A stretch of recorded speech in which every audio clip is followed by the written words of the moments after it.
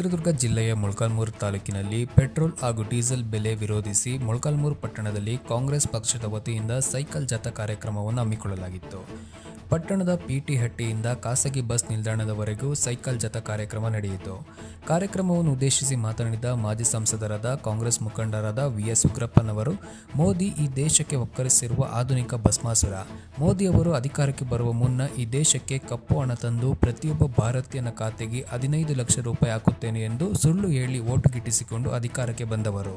Petrol, diesel, gas ಬೆಲೆ ದಿನದಿಂದ ದಿನಕ್ಕೆ ಗಗನಕ್ಕೇರುತ್ತಿದ್ದು, ಜನಸಾಮಾನ್ಯರ ಮೇಲೆ ತೀವ್ರ ಪೆಟ್ಟು ಬೀಳುತ್ತಿದೆ. ಇವೆಲ್ಲವುಗಳನ್ನು ಲೆಕ್ಕಿಸದೆ ನರೇಂದ್ರ ಮೋದಿಯವರು ಶ್ರೀಮಂತರ ಪರವಾದ ಆಡಳಿತ ನಡೆಸುತ್ತಿದ್ದಾರೆ. ಕೇಂದ್ರ ಸರ್ಕಾರದ ಯಾವ ಯೋಜನೆಗಳು ಜನಸಾಮಾನ್ಯರಿಗೆ ತಲುಪುತ್ತಿಲ್ಲ ಎಂದು ಕೇಂದ್ರ ಸರ್ಕಾರದ ವಿರುದ್ಧ ಆಕ್ರೋಶ ವ್ಯಕ್ತಪಡಿಸಿದರು.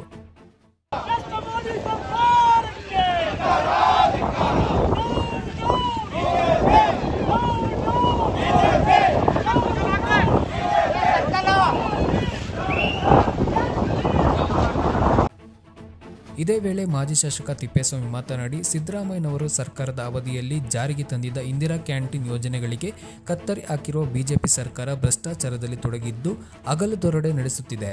ಕೇಂದ್ರ ಮತ್ತು ರಾಜ್ಯದಲ್ಲಿ ಬಿಜೆಪಿ ಪಕ್ಷ ಆಡಳಿತ ನಡೆಸುತ್ತಿದ್ದರೂ, ಜನಸಾಮಾನ್ಯರಿಗೆ ಯಾವುದೇ ಪ್ರಯೋಜನವಿಲ್ಲ ಎಂದು ಕಿಡಿಕಾರಿದರು.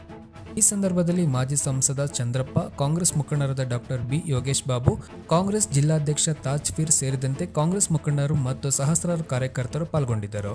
ವರದಿಗಾರ Rudresh it is a TV, Molakalmuru.